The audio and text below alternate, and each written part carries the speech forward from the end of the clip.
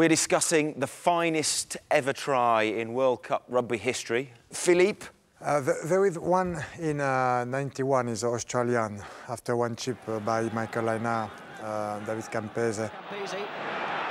Catch a ball and uh, play outside, inside and pass the ball behind the shoulder to Tim Horan and score in a corner. He's, he's marvelous, he's a good technique and uh, is the feeling.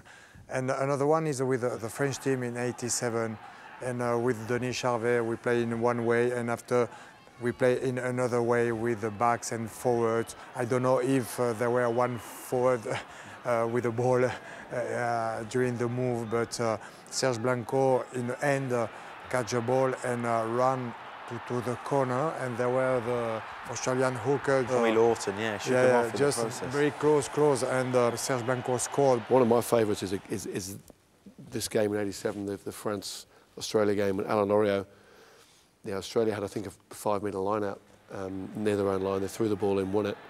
And uh, you just saw Lorieux get in, rip, rip, the thing out, went up the blind side, and, and, just stuffed the ball over the line. It was just one of those tries. I remember as a young lad watching that, thinking that was a, you know, an amazing try to score in a World Cup semi-final. Zinzan. Well, for the try that sort of sticks out to me was actually a, a pool round. I think it was actually the opening game of the uh, 1987 World Cup versus Italy. It came from a kick-off. David Kirk picked it up uh, halfback and then passed the ball out to John Kirwan and then just started this run.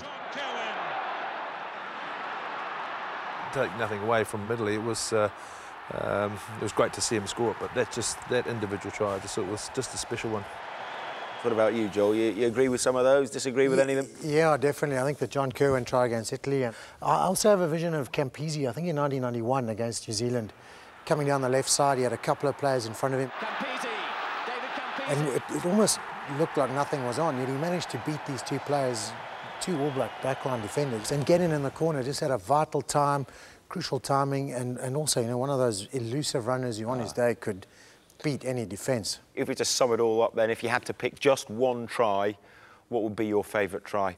Because I actually I loved the game, I'd go with Serge Blanco's try in uh, Australia versus France in the semi-final. 87. Yeah, for me, I, I, think it was Tim Horan's try. You know, with the ball off Campese around the back of his neck. Philippe? The Serge Blanco tries. and the Tim Horan. you can't decide. Undecided. Uh, Serge Blanco. Very diplomatic of you. Joe? I'll go the Campo one, around the two Kiwi defenders. A lot of Aussies in there. Alan Lorieux. Alan Lorieux, one for the forwards, eh? There we go, five choices. Now you get your chance to decide.